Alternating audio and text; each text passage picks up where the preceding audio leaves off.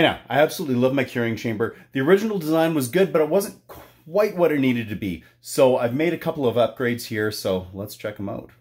The main issue with the original design was that I had a single fan here pushing humidified air out. However, when I had a large quantity of meat in here, a lot of salami, or even just like three nice big pieces of charcuterie dry aging, it would be a little too humid and that one fan was working super hard to get that air out. So what I needed was a second fan so that I could actually also cycle fresh air in, lower humidity air, and just make that turnaround time a lot quicker. So let's see how I did that. So my first task is to replace the fan that's right here. This is my output fan that takes the humidified air from inside the curing chamber and pumps it out. So in the spirit of not making the mistakes of the past, I'm going to run with stainless steel on all of the fasteners in here. The only thing that's not going to be stainless steel, unfortunately, is this. This is a galvanized steel uh, L bracket here, one inch L bracket. Unfortunately, I couldn't find this in stainless, so I'm going to be using some rubber washers here, just any spot where we're likely to get much contact between the the stainless and the and the L bracket there, just to make sure that we don't wind up with excessive rusting issues. And one thing I am going to do is I have some of the original screw holes here from the original bracket that was in there. I'm just going to use some of this black Gorilla Tape here, and that's going to just cover those up. No problem. It's like it never happened. Now, I've already gone ahead and run my cable through the, the port that I have here. Everything including this connector port, which is going to be important because I'm going to need that for the second fan that's going to run through here. Fortunately, I have just enough plate for it to get through where I'll be able to connect on the outside. I've also gone ahead and just removed these rubber feet that were through these holes here. First of all, I, I, won't need them on this side, and this side here, I'm going to utilize the holes that those feet were sticking through in order to actually mount this fan. And now I'll be mounting the fan. Here I've got, these are uh, 10-32s, stainless 10-32s by 3 quarter inch machine screws. And I'm going to be running through the top of the hole here. Now the one thing I noticed is that these holes are actually the perfect size for these for these machine screws here as I'm dropping everything because I can actually just go ahead and screw it in and it actually threads in just a little bit which is nice. So it's almost acting like a screw, imagine that. And now as that comes through, I'm going to take, this is a 3 16 rubber washer. I'm going to place that on the machine screw. And then I'm going to have my L bracket here. Also just kind of hold that into place. Because as I recall, it's a, not a super tight fit, but I do want to basically thread it right through that as well. So this rubber washer that I put here in between the bracket and the and the fan is going to help pre prevent vibration and noise. Now I'm just going to throw on another rubber washer.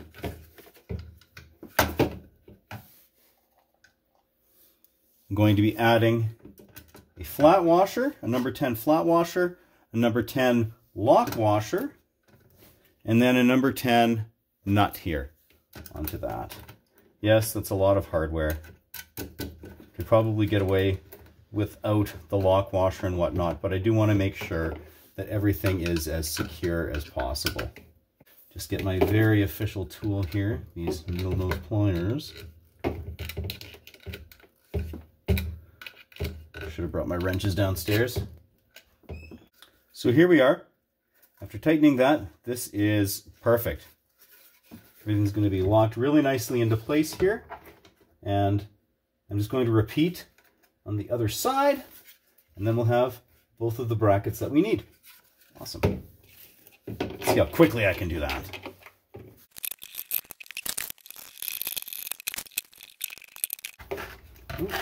Use that a little spacer. Now for actually mounting this, I'm aware that I've got a bit of a gap here. I think that's going to be okay. The air should all mainly go right out through this, this, whole, this port that I've got cut here. I'm also thinking that if some of it does spread out a little bit and hit here and here, that's actually also going to help create a little bit of extra airflow within the chamber. I'm totally fine with that. If I find that it seems to be an issue and this is not working as effectively as I want later on, I could always use some more tape and even kind of seal up maybe the top and the bottom of this just a little bit. But for now, I think it's going to be okay. That being said, I'm just going to eyeball about where I want this. So for mounting this, I've got these number 10 by 3 quarter inch. Again, this is stainless steel machine screws. And I'm going to be using number 10 flat washers on that. And then a rubber washer because we're going to, once again, be making contact with the galvanized steel, whoop, galvanized steel L bracket.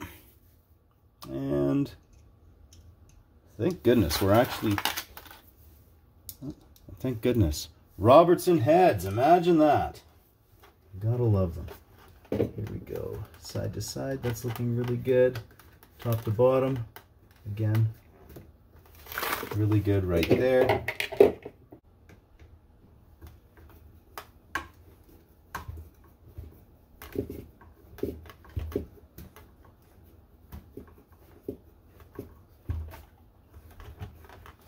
I could have pre-drilled this here.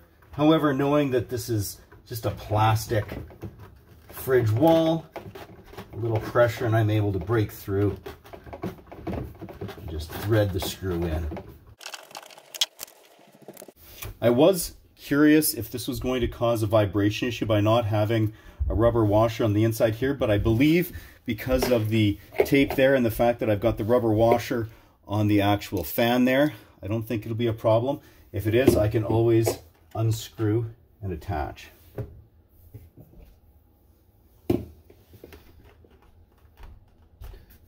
Yeah, I can always unscrew and install one of those as well.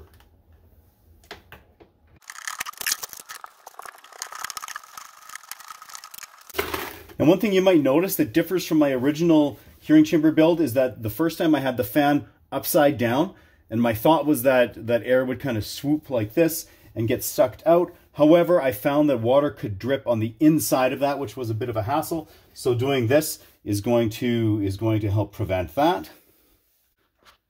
So now I'm just going to take the power and plug it in, and let's see what it sounds like. Ooh. Let's get a little closer. Very nice. No rattling or anything like that. Perfect. So I'm just going to sort of clean up in here, wipe up any sort of mess that might have been created, and phase one complete. Here's the port from the outside, and feeling here, I can definitely feel a good breeze coming through, so we're getting good airflow. Okay, so for my fan input, so that I can help actually completely recycle the air in there, I've got this AC Infinity fan, the exact same one that I've got for my output, and I want to have this blowing in. Now, because these fans, which are really great, come up like this and then blow out this way, I don't want to mount something on the side of the fridge that sticks out maybe this far and is a little bit weird, and I, am not super co confident that it's going to, to mount really nicely. What I got here is an ABS project box, and I'm going to actually mount the fan inside of this this and it's going to come, the air is going to get sucked in from here and it's going to shoot out this way. So I'm going to be able to mount this box directly to the side of the fridge. Now, I got, this was the largest box that this particular company had. And the great thing about it is that when you go and actually tuck this in here, just like this,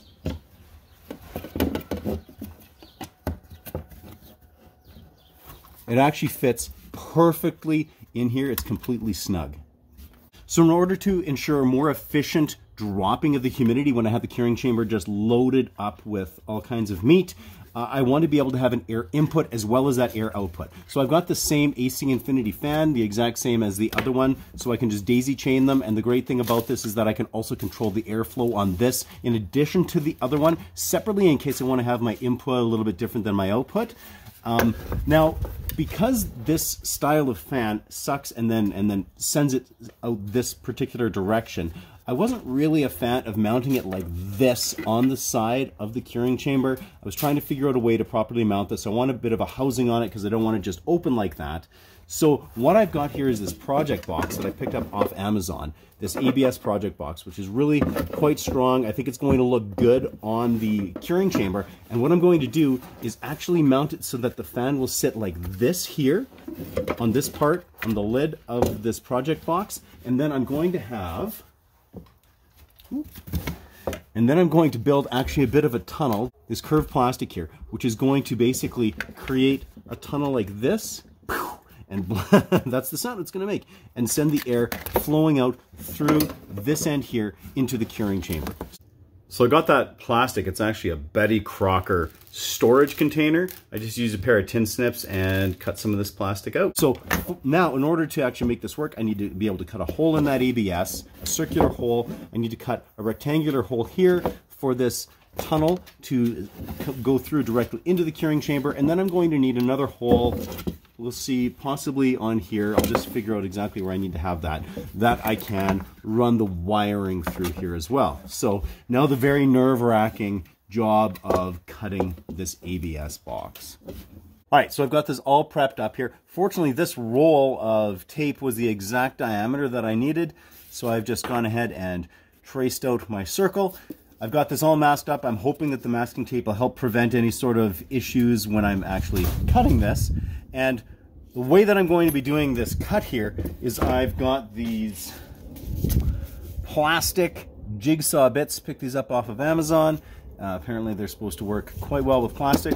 I've read online a couple people had done something similar, cutting holes in this type of box using these blades, so fingers crossed that that works. Additionally, in order to get that jigsaw blade in there, I've just got some metal bits here. I've got a, a series of incrementally larger bits. I'm just going to start with a small hole, and work my way up to a larger one.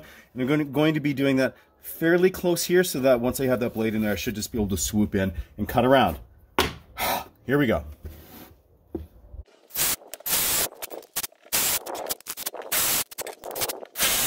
All right, I've got this cut. I can get my blade in here. Now the re so nervous about this here. Now I, I have this attached. This is actually deep enough that I should be able to run that blade and it's not going to hit on the bottom. This is the perfect height to be able to doing that, to be able to do that. And in order to prevent vibration between the two, I just taped this strip of cardboard in here. So I'm going to be cutting through the cardboard as well, but hopefully that'll prevent any sort of vibration and damage to this plastic. So that hole went really quite well. Um, let's see if I have similar luck with the rest of this here.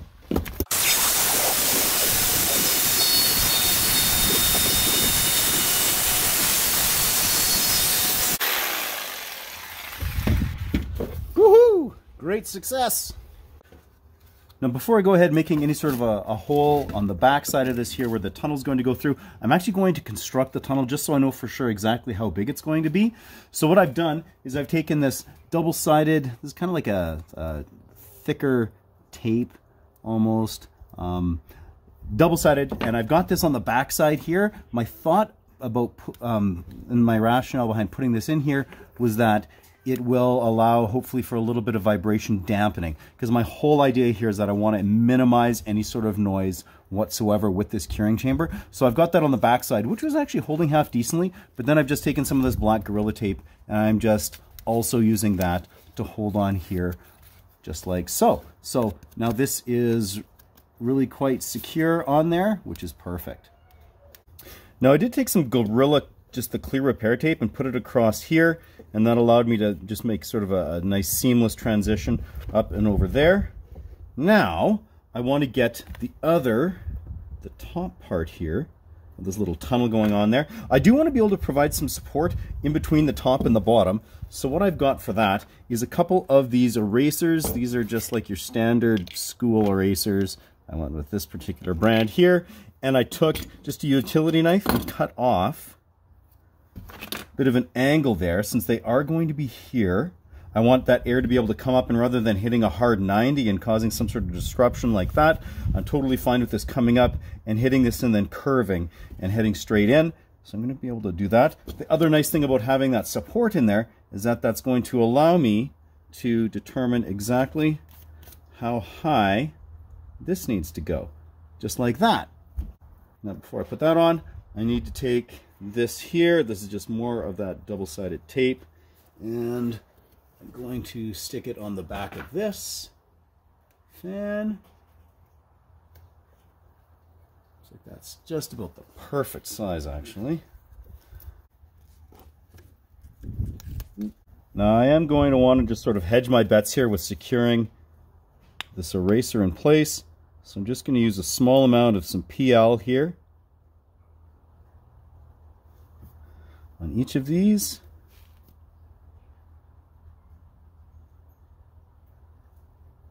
Not that this should have a lot of pressure to get jostled around one way or another on this, but I do want to make sure that it'll be nice and secure.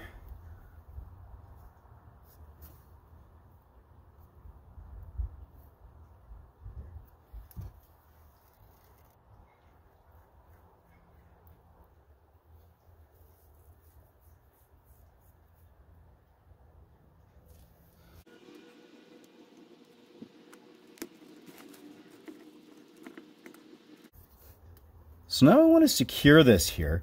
And I was toying around with some different ideas, even just like taping this or whatever, but at the same time, I didn't want to have anything sticky on the inside just because if any sort of, you know, particular, I mean, I'm really hoping that I don't get particles of stuff in there, but I didn't really want anything gumming up and sticking to the inside of that. So what I'm going to be using here is, this is some parafilm, this is laboratory film that you can use in like, sort of like really heavy duty, uh, just plastic wrap that they use to cover up beakers and stuff like that. So I'm going to give this a whirl here and see how it turns out for this purpose.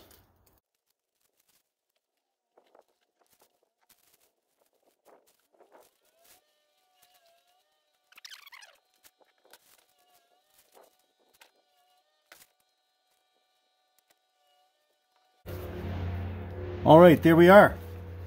Tunnel is almost complete. The last thing I need to do here still is just seal up these sides here. I believe I'll just take a little bit more of that parafilm, cut sort of a piece that can go there, and then just tape it on just to secure it. Okay, there we go. Is it the prettiest tunnel known to humanity? I doubt it, but is it really functional? I'm pretty sure it is. I can't wait to see this thing in action. So now it's time to cut the hole through which this is going to pass on the back side of the box, and then that is where we're gonna have to match up to have a hole going into the actual curing chamber. All right, so it's the exact same process as before, just different shape.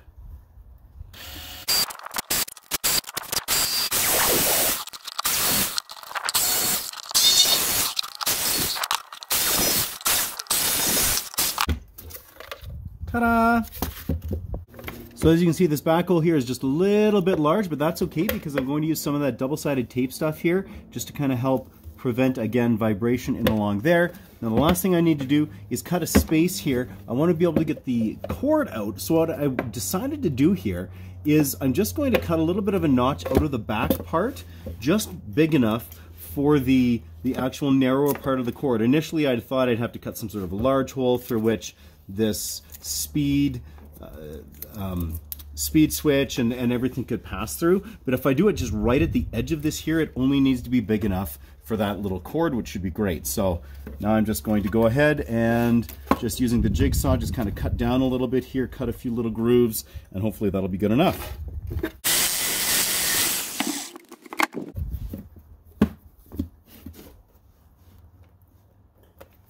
There we go. That is perfect. Okay, I'm going to get my tape in and around that, I'm going to get this all cleaned up, and then see how it assembles. So back at the curing chamber, I want to sort of mimic what I've done with this fan as far as mounting goes. So the front corner of it, I want to start about six inches in from the front here. And I'm aiming to have it about two inches from the top here. And that should be a, pretty good, pretty good location for that. So I'm just going to go ahead on this tape out here and mark in where I want this to go. So I need my box for that. All right, so I've made some marks here. So this is that front corner. I'm just going to use the box, the hole that I cut in the box here as my guide for that. And try and get just like so. There we are. So I might go just a touch, just a touch bigger than this all the way around. Whoo! I love projects in tight quarters. Okay, so the first move here is going to be using just a small, like an eighth inch drill bit. Gonna drill there and then switch up to a larger one. This should enable me to get the, the uh, blade for the jigsaw on there nicely. Obviously safety first here with no glasses on. And so that allows me to get my metal blade into here. Again, tight quarters, very fun.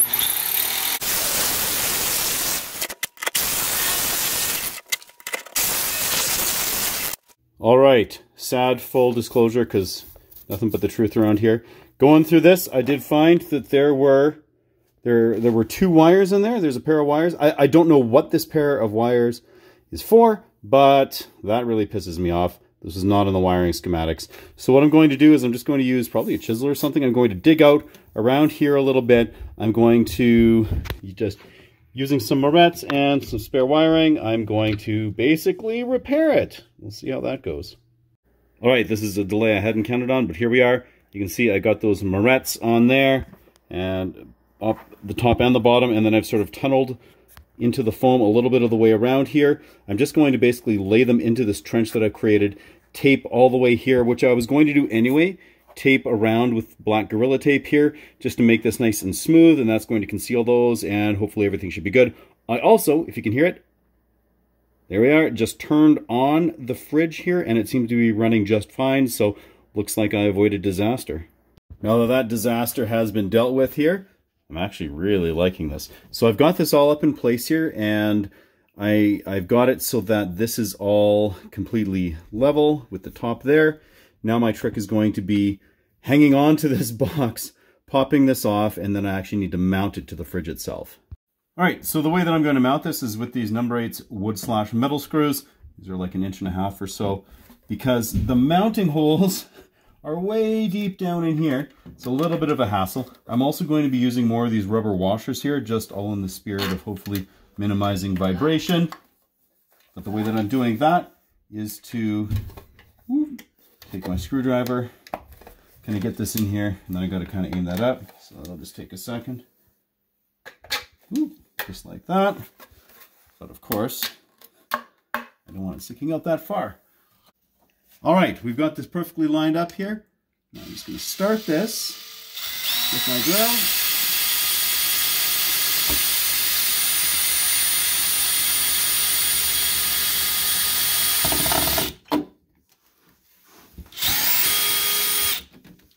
Ooh. Now let's get this next one lined up. Everything is still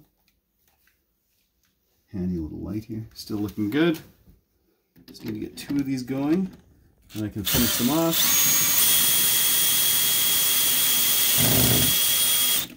There we are. Actually, let's get all four of these.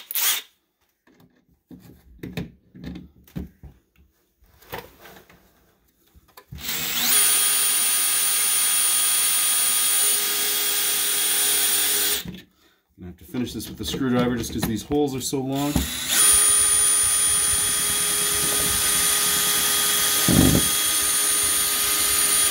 All right, and onto the screwdriver.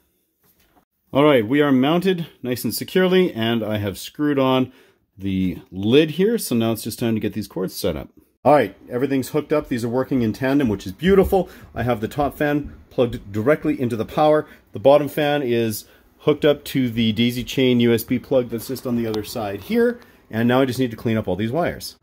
The final upgrade step here was just to get my filtration, a very fancy filtration system in place. This is just a double layer of cheesecloth that I've secured here with vinyl tape.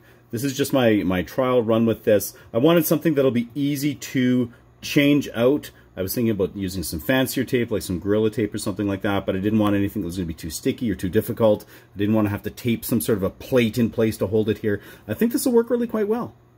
Now that this curing chamber upgrade is complete, I just turned it on, plugged it in. You can see we're still a little bit warm and we're heading towards the correct humidity in here because I'm going to be loading it up with a few pieces of delightful charcuterie today. Trial run! Okay, I'm really happy with this humidity control upgrade here. I've got three fresh pieces of cured pork charcuterie in here, all right around the high two kilogram range. And with this setting here, I've got it set to kick on for those fans to cycle on at 75% relative humidity.